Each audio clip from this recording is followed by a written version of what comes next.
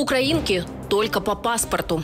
Артистки Регина Тодоренко и Анна Асти посетили церемонию награждения премии глянцевого журнала в Москве. Они радовались жизни, пока Россия бомбила их родную Украину.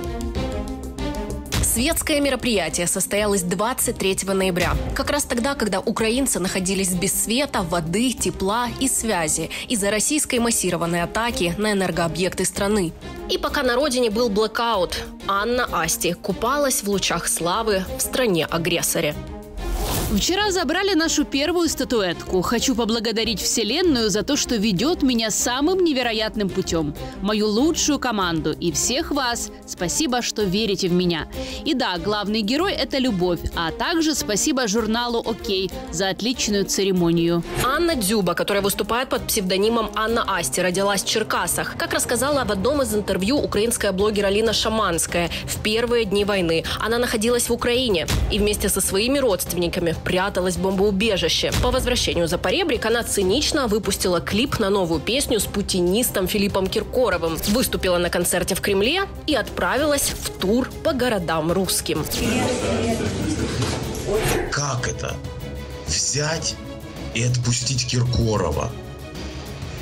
Ну вот я могу себе, то есть я могу себе представить, что было в голове, как бы, да, то есть авось тут как-то рассосется или фиг с ней, с этой Украиной. Да, это же история, связанная с тем, что а, так долго и много всего было а положено на этот алтарь, да, так, так э, мы же не знаем, что было положено. Э, ну, это же шоу-бизнес.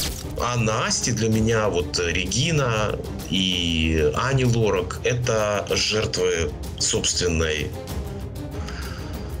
э, недалекоглядности. Перед полномасштабным вторжением России в Украину артистку постоянно сравнивали со Светланой Лободой, твердя, что она копирует стиль своей коллеги. После осуждения войны Лободе дорога в российский шоу-биз закрыта, а Асти пошла на сделку с совестью и наслаждается теплыми приемами фанатов в Барнауле, Магнитогорске и Новом Уренгое. Встречали просто теплейшим, если можно так сказать, образом.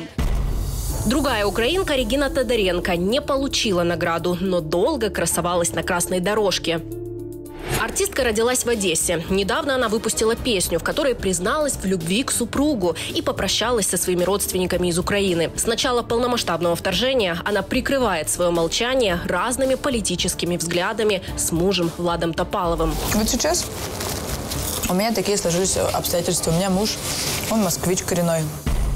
Еще одна артистка, участница российской фабрики «Звезд 4», одна из бывших девушек рэпера-путиниста Тимати Алекса, тоже была обладательницей паспорта с трезубом. Однако несколько дней назад она сообщила поклонникам, что поменяла документ на российский. Ура!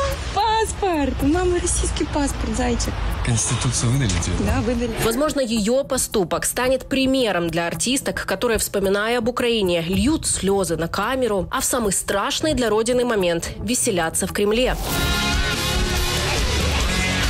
Тем не менее, получать паспорт с двухглавым орлом, с которым в Европу дороги закрыты, они не спешат. Вы паспорт не собираетесь менять? У вас же, я так понимаю, гражданство до сих пор украинское, правильно?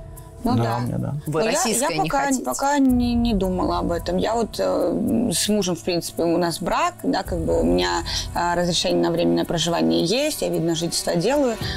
Хочу спокойно ездить э, к маме, видеть ее, обнимать. По поводу паспортов украинских, тут все зависит от того, как будет вести себя по отношению к этим э, персонажам э, власти российские. Тут же как бы мы же не понимаем, как. А тут же могут сыграть э, история идеологическая, когда им наоборот запретят менять на российские.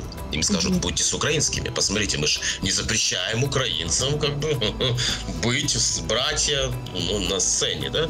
А может быть наоборот. Тут все зависит от того, как идеологическая ФСБшная машина будет работать в этом плане.